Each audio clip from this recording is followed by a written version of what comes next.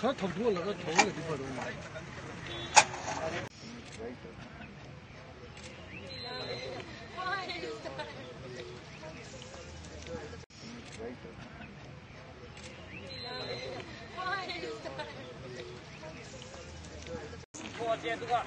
Kaç kullanmadı?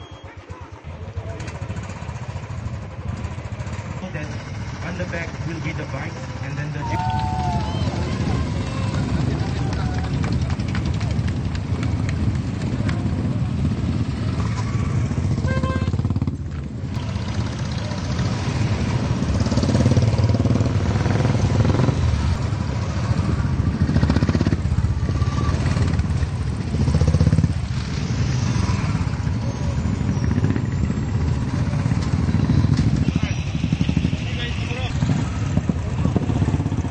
This is one of the very interesting campaigns that we are doing. Uh, it's called Birds in the Beanstalk, and we are going to cover around two lakh, uh, you know, uh, students across all seven northeastern states.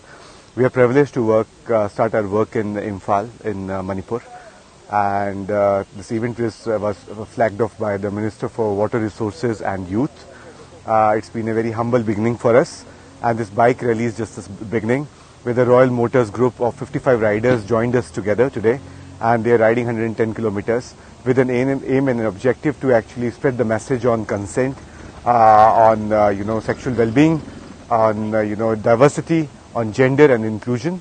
And I wish all the riders all the best. The project started from uh, launch in Sikkim, and we have got very, very good response from students and teachers who will be basically who are the beneficiaries of the program, who will be getting direct benefits from our curriculum. So we have designed a very comprehensive uh, growing up uh, life skill curriculum for the, the students because at the age of starting from the age of 10 to 19 years, a student, a child's body, a, a human, uh, they basically.